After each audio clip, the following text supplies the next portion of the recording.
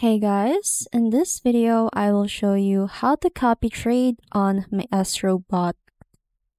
Now on MaestroBot, type in the slash start and then after that, type again the slash and then SL sniper and then type in the slash sniper.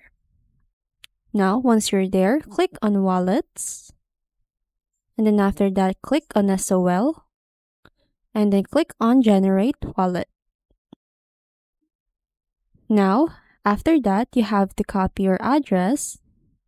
After that, type in the slash sniper again, and then click on the copy trade, and click on the SOL again. And after that, click on add wallet or contract. And then after that, type in the name for your wallet and then after that, paste here your wallet address. I got mine from Phantom Wallet. And then you can click on settings to adjust your copy trading preferences. And that's how you copy trade on MaestroBot. Thanks for watching and I'll see you on the next one.